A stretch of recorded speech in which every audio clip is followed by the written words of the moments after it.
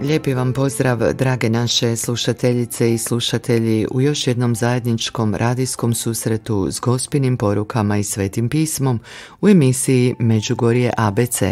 S vama će biti Davor Dragičević i Marija Duganđić. Naše sljedeće minute su rezervirane za gospine poruke i sveto pismo. Majka Marija naime kroz sve ove godine neumorno nam upućuje svoje poruke, pozive, poticaje, Čujemo to, ali zaboravimo. Zato ćemo ih se sada prisjetiti, kao i svetopisamskih tekstova koji nas pobuđuju ili pozivaju na istu duhovnu stvarnost.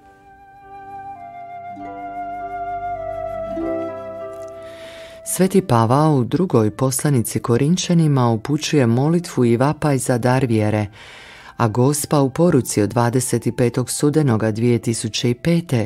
moli za naš dar vjere i kaže Draga djeco, i danas vas pozivam molite, molite, molite, sve dok vam molitva ne postane život. Dječice, u ovo vrijeme na poseban način molim pred Bogom da vam daruje dar vjere. Samo u vjeri otkrićete radost dara života koji vam je Bog darovao. Vaše srce bit će radosno misleći na vječnost. Ja sam s vama i ljubim vas nježnom ljubavlju.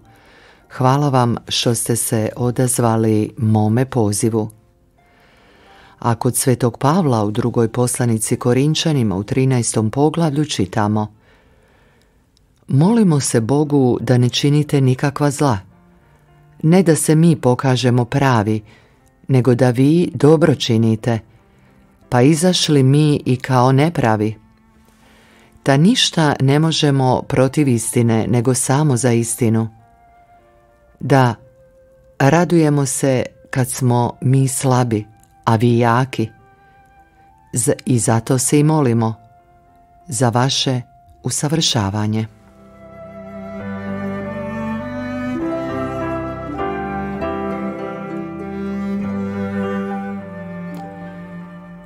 Ponovno smo kod Svetog Pavla, ali u poslanici Efežanima, u kojoj govori o nastojanju oko mira – a majka Marija nas u poruci od Božića 25. prosinca 2005. poziva biti nositelji mira i kaže Draga djeco, i danas vam nosim u naručju maloga Isusa, kralja mira, da vas blagoslovi svojim mirom. Dječice, na poseban način danas vas pozivam da budete moji nositelji mira u ovom nemirnom svijetu. Bog će vas blagosloviti. Dječice, ne zaboravite, ja sam vaša majka. Sve vas blagoslivljem posebnim blagoslovom s malim Isusom u mome naručju. Hvala vam što ste se odazvali mome pozivu. A sveti Pavao Efežanima kaže Podnosite jedni druge u ljubavi. Trudite se sačuvati jedinstvo duha svezo mira. Jedno tijelo i jedan duh kao što ste i pozvani na jednu nadu svoga poziva.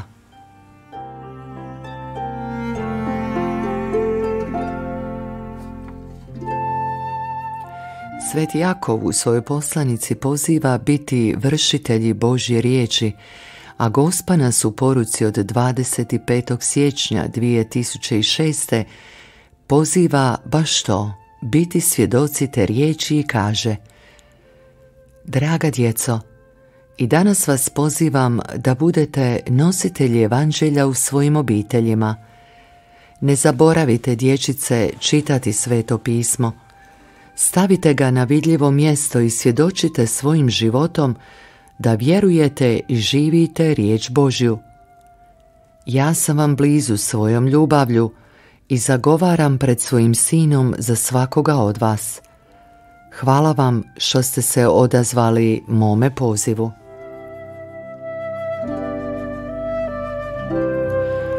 A Sveti Jakov u svojoj poslanici kaže Zato odložite svaku prljavštinu i preostalu zloću i sa svom krotkošću primite usađenu riječ koja ima moć spasiti duše vaše. Budite vršitelji riječi, a ne samo slušatelji, zavaravajući sami sebe. Jer ako je tko slušatelj riječi, a ne izvršitelj, sličan je čovjeku koji motri svoje rođeno lice u zrcalu. Promotri se, ode i odmah zaboravi kakav bijaše.